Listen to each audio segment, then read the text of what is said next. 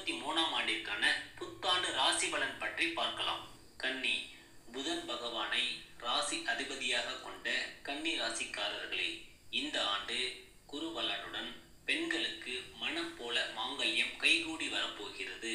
குடும்ப வாழ்க்கையில் ஏற்பட்ட கசப்பு முடிவுக்கு வரப்போகிறது. காதல் மன வாழ்க்கை அற்புதமாக அமையப் போகிறது.